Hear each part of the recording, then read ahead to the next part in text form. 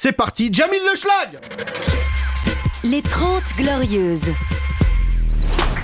Ah les gars, c'est incroyable, on est au huitième jour de Ramdam. Ça y est, les masques tombent, les langues se délient. On commence à voir les vrais visages. Les mythos des premiers jours du genre « Machallah, en ce mois saint, nous nous devons d'avoir un comportement exemplaire » un comportement exemplaire, bah t'es pas venu au marché frais de la Courneuve aux heures de pointe avant le tour.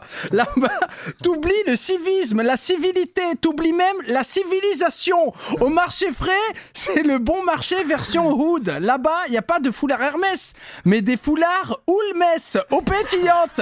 Sidi Ali, Sidi Harazem. Là-bas, j'ai écouté des phrases incroyables. J'ai écouté un mec dire à une daronne de plus de 65 ans Nique ta mère et passe-moi l'Elben Mais non les gars Mais c'est pas des choses qu'on dit Je te jure Tout le monde se battait pour la dernière barquette de dattes sèches tunisienne remplie de doudes. Mais il y avait une palette entière de belles dates charnues. Personne en voulait. Provenance Israël. Moi, j'ai pris un paquet. Tout le monde m'a regardé de travers. Et là, je l'ai reposé calmement. Bon, bah, on va se concentrer sur les figues marocaines, apparemment. Bordel pendant, le ramadan, les supermarchés en France, c'est quand même des sacrés hypocrites. hein.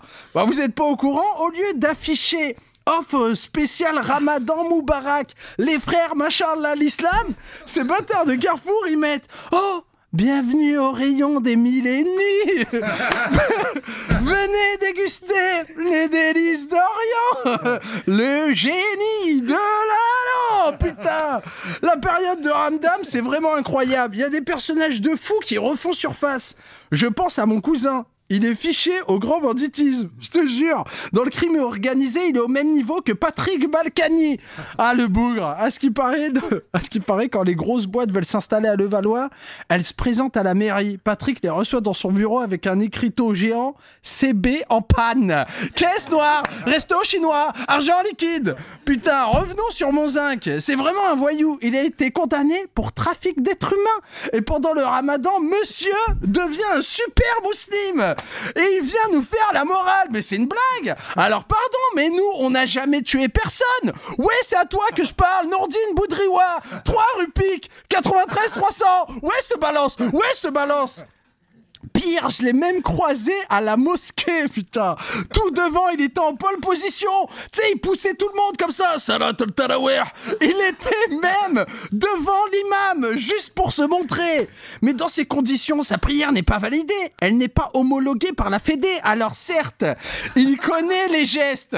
Oh, je te jure, c'est vrai.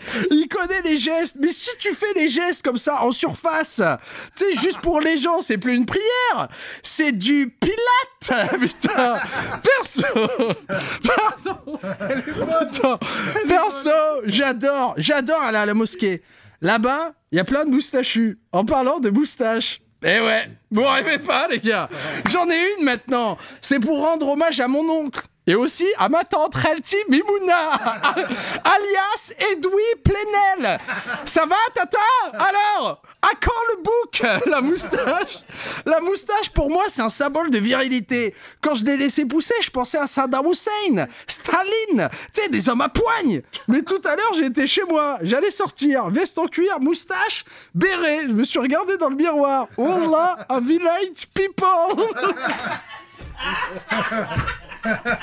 Oh putain Macho, macho, macho man Ah, on vit une époque incroyable, c'était la chronique incroyable.